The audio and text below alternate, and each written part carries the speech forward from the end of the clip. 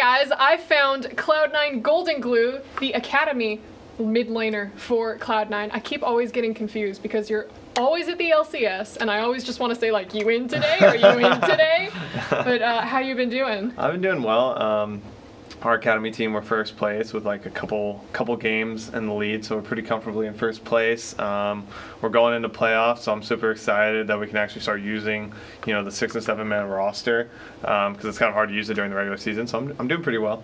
So six and seven man roster, you're talking about for the main team, like the Yeah. main spring split.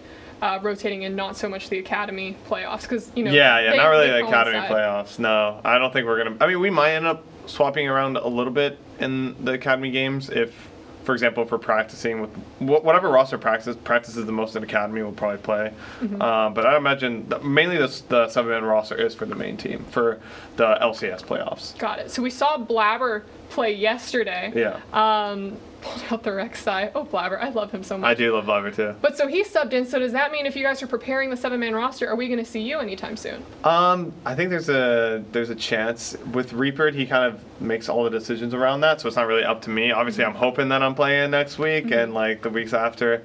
Um, but right now, like we're in the mode where where you are preparing for playoffs, so it could happen. Um, but yeah, it's not up to me. I'm hoping so.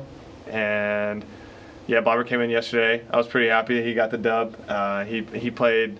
He made some mistakes, but I think he played pretty well overall. He had like the second most damage on the team as Rek'Sai, and that's kind of like one of his iconic champions. So I'm glad he could pull that out. Yeah, and he very much had like the Blabber playstyle that everyone was hoping Yeah. for, like the Yeah. super aggressive. Why Yeah. is he flashing in there? Yeah. But still made it fun to watch and kind of added like the little spice and flavor.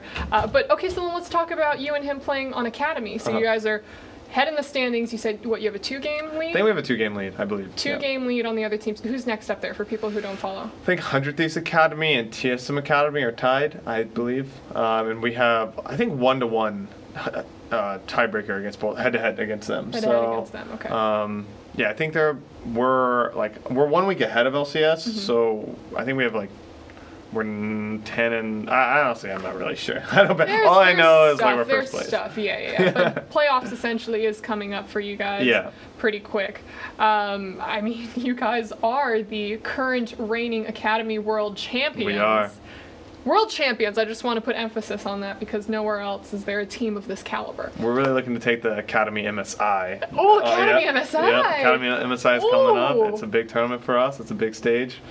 Gosh, I if I had like a bajillion dollars, I would make that happen. I would just be like, here I'm you glad. go. I'm glad that's what you're doing wanna- with the That's what I'm gonna dollars. do That's with your the bajillion priority. dollars. Screw world hunger, screw world peace, Academy, MSI. That's good. You got your priorities straight. Yeah, it's important. Uh, well, I mean, are you feeling confident? I mean, it sounds like you guys are toppling everyone else. Yeah, I mean, I think we feel pretty confident. We're meshing pretty well as a team. I feel like uh, the meta is pretty good for us right now. I think we're kind of ahead of it, um, and like I think our main team's also really good. So the fact that we get to like internally have those conversations about the meta and champions and like play styles is really helpful. And the fact that we're both really good just makes both of us better. So So when you look at the LCS right now, maybe not so much as a player on uh, of Cloud Nine, but more as a of, as a spectator, Mm. what do you really see? What do you think about the play styles? What do you think about the teams? um, like as in Cloud Nine specifically, or just all. Let's Well, just take a look at the like the top three. Let's take a Uh-huh. look at the top three because for LCS we're kind of in like this weird position when we have Team Liquid who, who is like reigning supreme. Uh-huh. We have Cloud Nine who's like right underneath and like Uh-huh. about to catch up to them, and then we have teams like TSM who are doing fairly well, and then we have like this. The graveyard. We have the graveyard. oh graveyard. my I'm, I'm god! trying to think of the nice way to say it. Savage. The graveyard. Ovilee May. Well, uh, that's that's essentially what it is. I mean, we saw the Clutch Gaming Hundred Thieves game yesterday, where it's like Yeah. both of them really need a win, Yeah, yeah. They're and desperate. they went one-one this weekend. Yeah. Um, so I think yeah, the top of the leaderboard. I think, as you said, I think Cloud9 and Team Liquid are like pretty far above the other teams right now. Like we just played TSM, and they look pretty good, but they basically threw an almost unlosable game, and. I think that kind of speaks also to Cloud9 to us as a team. Like that game was really not winnable. Like we were really getting clapped. Um, we didn't really have many win conditions. Lane phases went like not so great for I think both solo lanes, um, and we managed to pull the game back. We like really capitalized on their mistakes and won a basically unwinnable game.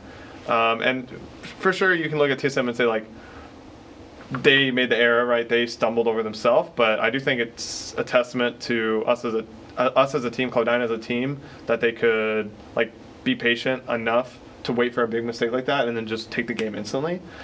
Um, Team Liquid is, is obviously really good, and for the rest of the teams, I think it's going to be a toss up. Like Golden Guardians, they have like their moments of like they look really strong, and then they have their moments where they don't. Yeah. Um, TSM, same way. Like sometimes, you know, Bjergsen, Zven's like just like popping off. Akaadian's like really good at stealing barons. But I definitely feel like those two teams are kind of above the other ones. And yeah, I don't know what I don't really know about the graveyard. I don't really pay much attention to that, but Yeah. Um, so then, do you think the teams, kind of as they are sitting in the standings right now, do those look like our playoff teams?